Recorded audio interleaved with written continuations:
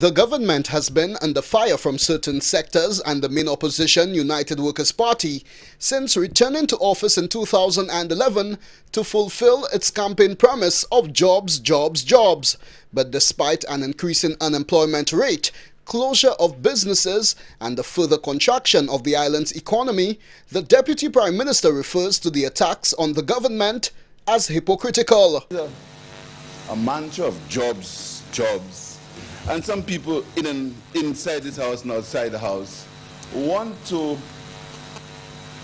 put the blame on the government for the state of employment in this country.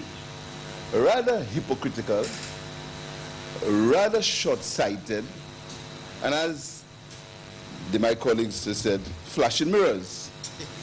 Mr. Speaker. Is that term going to become a term of the House? Probably. Probably. Probably.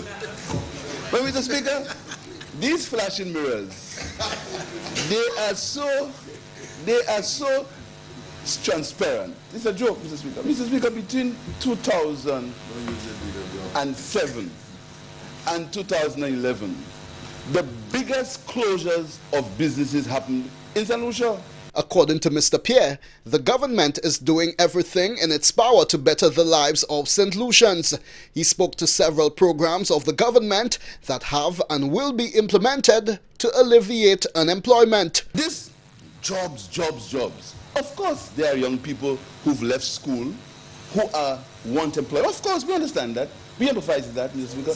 But, Mr. Speaker, hotels have been laying off people during the summer for ages.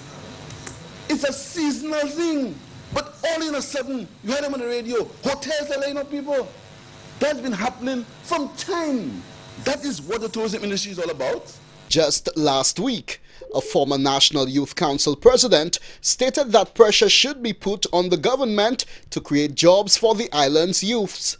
The unemployment figure indicates that 24.9% of young people are out of work. For the DBS News World, I am Jason Hullingseed.